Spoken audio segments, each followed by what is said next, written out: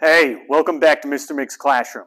I'm Mr. Mig, and today we're going to continue on with our FAA Part 107 drone license test. Um, so we've been working on this for a little bit while now, and what I wanted to do today was talk about METARs. Uh, I've had a few people in the comment section ask about METARs and weather. Uh, we'll get into a little bit of weather today, but specifically we're going to talk about METARs. So if you don't know what a METAR is, you kind of need to know this for the FAA Part 107 exam. I'll be honest with you, there's not a ton of METAR questions, though you do need to expect them to be there.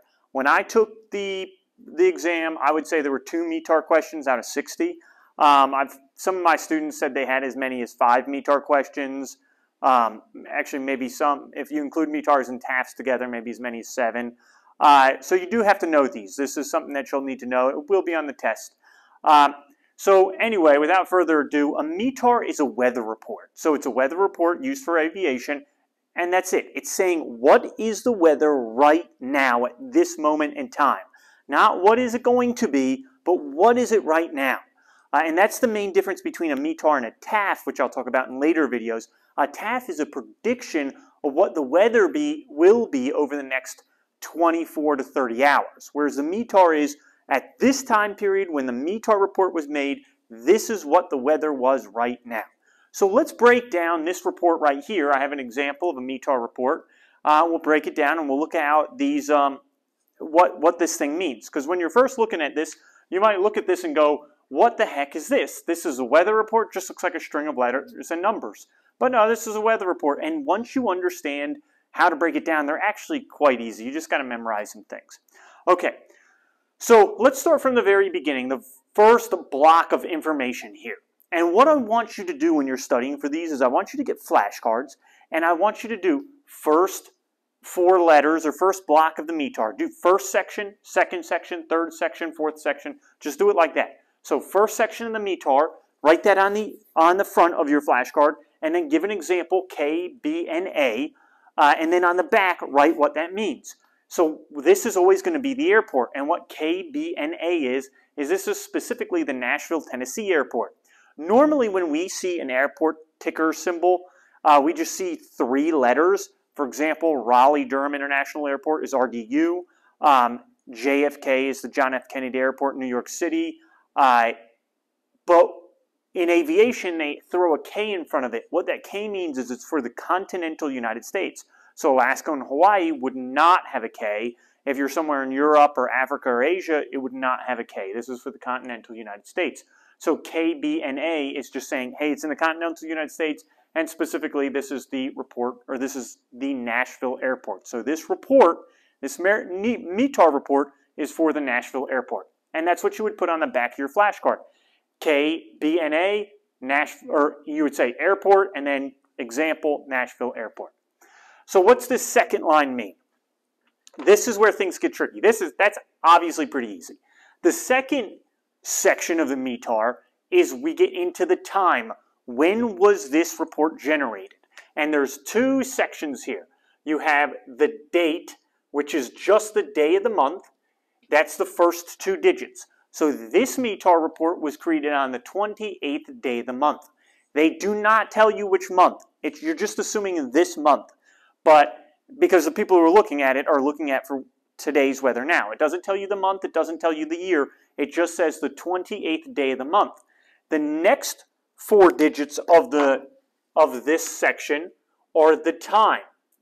And they use military time. So this report was created for the 28th day of the month at 1251 hours. Um, that would be like 1251 p.m. Because uh, then they're going to do 1300 hours for 1 p.m right? The Z here means Zulu, and that's referring to UTC time. So this is, that's what that's in reference to, which could also be, you know, Greenwich Mean Time, which sometimes is abbreviated um, GMT, Greenwich Mean Time. That's simply talking about the time zone that goes through Greenwich, England, the prime meridian's time zone, right? So the whole world of aviation uses one time zone. By the way, if you're one of my former students who just likes to watch my videos, I've advocated this before for the whole world. I just like the idea of one world time zone. I think it makes a lot of sense. A lot of people think I'm crazy. Aviation uses this There's one time zone for the whole world in aviation. There's not 24 different time zones. There's just one. And I think it's a really good idea. This way you don't have to worry about changing time zones. If you hate that idea, go ahead and write about in the comments why you hate it. But aviation uses it. You get one time zone. You need to know this because they're going to test about this on the test. They might give you a METAR report here, and they'll ask you what time is this was this report created, or what time uh, was this report for? Uh, and they might say something like 1251 um, UTC, 1251 Eastern Standard Time, 1251 Pacific Time, or they might give you the airport and then give you that time zone, something like that. Uh, so you have to be, or in this case it'd be Central Time, uh, 1251 Central Time. So you have to be aware it's always, and that's what that Zulu is indicating, it's always UTC, which is uh, Greenwich Mean Time. It's the universal time um, for aviation. This next thing is just saying the report was automatically generated. So at airports, they'll automatically generate these METAR reports. Um, sometimes there is not, there are METAR reports that are not automatically generated if there's a correction or something like that. Um, I don't always see these in there, especially on the tests. I just figured I'd show it. Um, okay, next one, that's pretty easy, right? It says auto, so it's automatically generated. The next one is another one where we have to divide things up. So here, these first three digits, and let me do like this so we know what we're talking about. So these first three digits here go together. This is going to be the wind. So this whole thing here is, um, oops, sorry, I can't spell. This whole thing is going to talk about wind here, right? So that's going to be the wind direction. So that's like if we do our little compass down here, like we've done in past videos. So south is 180, um, east would be 90, right? So 120, at something like southeast, just about southeast, right? Uh, that's the direction the wind is coming from. So the one, wind is coming out 120 degrees. The next two digits here, um, let me just leave that off like that. So these next two digits right here, the 0, 8, is referring to the wind speed. So the wind speed is 8 knots. That's what the KT means. You need to know that. They might try to trick you or test you on that to see if you know that that's 8 knots and not 8 miles per hour. Right? So the wind, in this case, the Nashville airport on this day at that time is coming from 120 degrees at 8 knots. This 4 SM over here, so going on to the next thing, this is all together. That's going to be 4 statute miles of visibility. That's how far you can see. So um, I'm just going to write vis over here. Uh, and let me, just so you have it, I'll put this as uh, date, and then this over here as the time, just so, in case you want to take like a screen capture of this right here, if that helps you. Okay, time. And then this over here would be airport. I don't know if you want to take a screen capture and that helps you. Okay, so that's the visibility, four statute miles of visibility. Remember when you're flying a drone, you need three statute miles of visibility at minimum. Again, that doesn't mean you have to be able to see the drone from three miles away. You're not going to be able to see a DJI Mavic Mini from three miles away. It just means you need to be able to see for three miles. So on this day in Nashville, you could see four miles away. This way you don't, you know, if an airplane's coming, you can see it, or you can see a tower or a building that's three or four miles away. So that's what that means. The max you'll ever get here is 10. They'll try to trick you on this sometimes too, and by put and by putting like 11 miles of visibility. They'll when it's perfect visibility, they just put 10 statute miles or 10 SM. Uh, that's the, as high as it gets for visibility. Okay, next thing over here, this is weather conditions. So both these two things you can think of as that. This is just going to mean rain, and that minus sign means light rain. If there was nothing here, no dash, no plus, it would just be rain. If it was a plus, it would be heavy rain. So this is just going to be rain. Um, and then this over here is haze. Um, I think uh, most of these, you'll see a lot of different things. Most of these abbreviations over here are pretty easy and straightforward. Um, rain, RA, kind of makes sense. Haze, HZ makes sense. The only one that's a little weird you might want to memorize is BR, which is mist. Um, thunderstorm is TS. Um, so you'll, you'll want to be aware of some of those. You don't have to memorize every single one because uh, I do think a lot of them are straightforward. Okay, next one we'll, thing we'll talk about is what comes after the weather, whether there's rain or not rain or thunderstorms, is, um, is the clouds. If there's no clouds, they'll put, um, I think it's, it's either C, uh, well, let me get back to that one. I can't remember if CLR or just, yeah, yeah I think it's CLR. So you know that it's clear. Um, and uh, right here is broken clouds. So that's what this is. These are going to be clouds. And what they do here that you want to be aware of is they add two zeros to this. So this is 0, 1, 0. And so this is saying that there's clouds at 1,000 feet. So be aware of that. That's what that BKN means. It's broken clouds. So what happens in aviation when we're doing weather, and again in future videos we'll go more, more over weather, but they break the sky up into eight parts, right? And so if you have all eight of those parts have clouds on them, that's an overcast day. There's clouds everywhere, right? If seven of those eight parts, I think it's something like five to seven of those eight parts have clouds, and only you know one to three parts of the sky are open, that's considered broken clouds. So this would be broken clouds at 1,000 feet, which is um, yeah 1,000 feet for broken clouds. Uh, I was going to put overcast on here too, but as you can see, I started running out of board space. Uh, if you see overcast, if you see OVC, that's going to be overcast clouds. Um, just so you're aware of that. Next one, uh, this is the temperature. So we'll put um, right here, and this is temp. That's what that is over here. What they do is you have your temperature and then your dew point. I'll put DP for dew point. Um, the let me make that line so you know that's talking about the temp. So this is 21 degrees Celsius and then a 17 Celsius dew point. Um, I know the FAA, it's like they like to mess with you with changing the standards of the system they use for measurement. On sometimes it's metric and sometimes it's imperial. When they're talking about distance, they're usually doing it in miles and feet, right? If you're saying how high can you fly your drone on the test, it's going to be 400 feet um, as opposed to 120 meters. They'll usually test you in feet. If they're talking about visibility, it's statute miles, right? They're talking about miles. Um, when they're talking about wind, they're usually usually putting it in knots. Um, and uh, but when they're talking about temperature, they use Celsius. They go to Celsius here. And so you just got to be familiar and realize that and understand that and just be willing to switch. You know, sometimes it's going to be uh, miles, or sometimes it's going to be metric, sometimes it's going to be imperial. In this case, they use the metric. All right. One important thing, they'll test you here. They might give you like a METAR, and they might ask you something like, uh, what are some hazardous conditions that could occur at this airport on, on this day from this METAR report?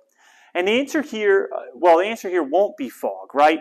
If you are within three degrees, if the temperature and the dew point are within three degrees of each other, then you'll start seeing fog. That's when fog can occur. So if the temperature and the dew point are the same, you're going to have fog. If they're within 3 degrees, likely to have fog.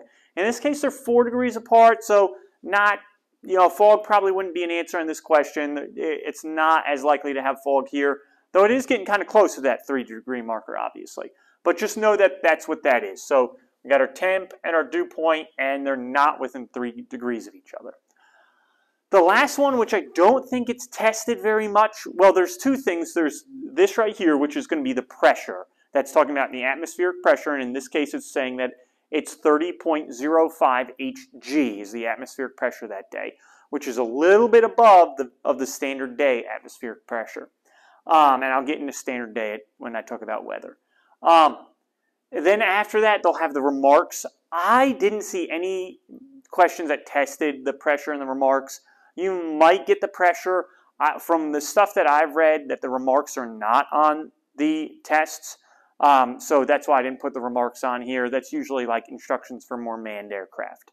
Um, anyway, that's all the things I wanted to go over for the METARs. So let me give you a couple other side things I want to discuss that you might see as well. So little changes here that you could see. Um, here with wind, let's go back to wind and let's talk about this real quick. So sometimes what you might see with wind is something like this. So let's just keep everything the same. So it's coming out of 120 degrees, so coming out of the southeast. And let's say the wind is still um, 0, 08, but then what could happen is um, you'll have like G21 KT. All right, so what's happening here is this, uh, sorry, my marker's dying on me. Right there, that's talking about gusts. So it stays the same at first. Those first three numbers are the direction. Second two numbers are the speed. And then these three next characters are gusts if they have that in. If they put the G21, that's saying gusts up to 21 knots. But the sustained wind is still 8 knots, okay? So don't get that confused as gust at 8 and the sustained wind at 21. That obviously doesn't make sense, right? Uh, what else is another thing that you could see changed? Um, the only other things that you could see different, like I said over here, you could see things like, um, just trying to see if this marker is going to write, TS for thunderstorm, you might see BR for mist. Um, those are some other things that you might see on this end. Over here, you could see things like um, overcast. Uh, you could see that. Um, scattered clouds, a few other things. I found the clouds pretty easy. I oh, one last thing that definitely could throw you off, and then I'll end this video so it doesn't get too long, is let's say we got temperature of 21 degrees Celsius, and then maybe what you'll see, especially if you get a desert area, is something like this, 21 M7. And so a lot of my students had a hard time with this one. They're like, what does that M mean? Okay, uh, let me do, let me do this. Actually, this is even, let me do it a little differently. Let's say it's not 21 because this is really, I think they, they love to trick people. Let's just say it's like, um, let's say it's 6 degrees. Okay, so 6 degrees Celsius and then M7. Well, it's like a lot of my students are like, well, does that mean the dew point 7 degrees? No. Remember, the dew point cannot be higher than the temperature. So what this M is saying is minus 7. So it's 6 degrees Celsius for the temperature, minus 7 dew point. You'll usually see that in desert locations like Las Vegas, Phoenix, something like that where it's really dry. And so the drier it is, the lower the dew point it is. The more humid it is, like I'm on the East Coast um, in a coastal area, the more humid it is, the higher you know that dew point is, the closer it could get to the actual temperature. So in a dry area like deserts is when you're more likely to see that low, that's a low, low, low, low dew point at minus 7, right? Um, yeah, I think that's it. I think that's all I've, everything I want to talk about with the METARs. Um, if you have questions, I know these can be confusing a little bit. I really don't think they're that tough uh, if you just study them and do what I said. Like make a separate flashcard for each of them. Um, you know, second, second part of a METAR, third part, fourth part, fifth part, sixth part. And then do the same thing with TAFs. I really think these are knockout easy points once you get to know them. And once you know the METARs, the TAFs come easy. They are so similar to the METARs. They are just like longer. They look like METARs on steroids. Anyway, thank you for watching Mr. Mig's Classroom. Uh, please give me a thumbs up. Write something in the comment if you have any questions. Subscribe. I appreciate that. Thank you for watching, and I'll see you next time on Mr. Mig's Classroom. Take care.